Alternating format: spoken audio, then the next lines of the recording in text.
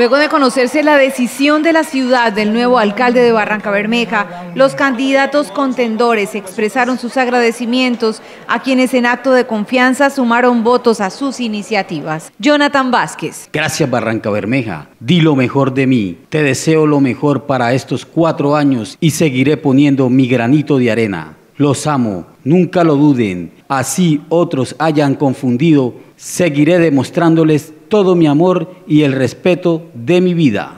Claudia Patricia Andrade.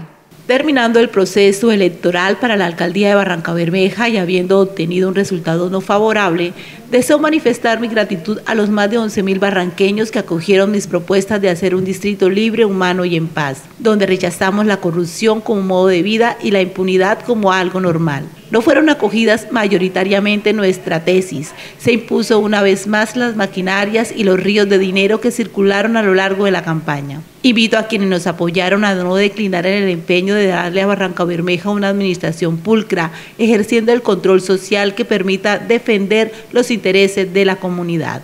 Dios bendiga y proteja a Barranca Bermeja.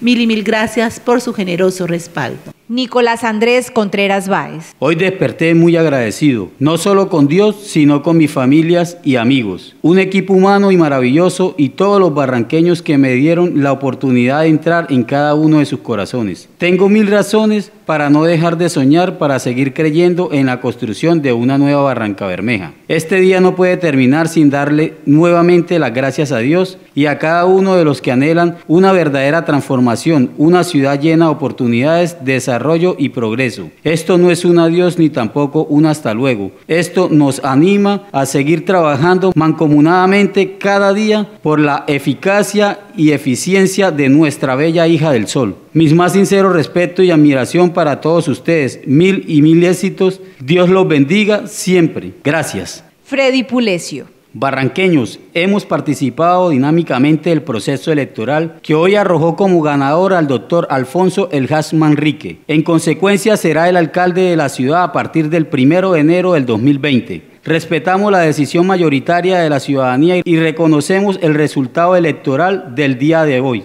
Desarrollamos una campaña ofreciendo a la comunidad una alternativa de cambio. El Polo seguirá promoviendo y defendiendo nuestras propuestas porque Barranca Bermeja lo merece. Agradezco a mi esposa y familiares el respaldo, a mis colaboradores y ciudadanía en general por la acogida que nos ofrecieron y por todo ese cariño. Gracias, gracias, gracias. Pablo Arteaga. Amigos barranqueños, muy buenas noches. Ha terminado la jornada electoral.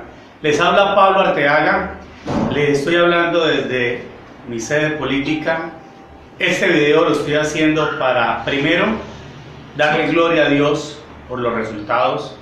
Siempre en su gloria y siempre todo para Él. Me siento muy contento, me siento agradecido con las personas que creyeron en este proyecto político que creyeron en un varón que vino a apostarle a una ciudad con propuestas claras, con propuestas serias, transparentes, y que puso su hoja de vida a consideración de ustedes. Me siento tranquilo y me siento en paz por haber hecho una tarea de corazón, con honestidad, con transparencia.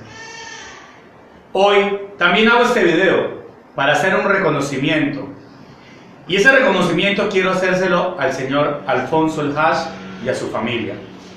Hoy, alcalde de nuestra ciudad. Con respeto y con cariño, quiero felicitarlo de mi parte y de parte de mi equipo. Hizo una excelente labor, como también lo hicieron todos los que participamos en este proceso. Cada uno a su manera, cada uno a su estilo. Pero usted, doctor Alfonso, quiero invitarlo a que este triunfo que usted tiene hoy con su familia, por el pueblo que le entregó más de 55 mil votos, sirva como prenda de garantía para que estos cuatro años usted va a entregar su mejor esfuerzo. Espero que así sea. Confío que así va a ser. Hoy fue la voluntad de Dios y la voluntad de un pueblo.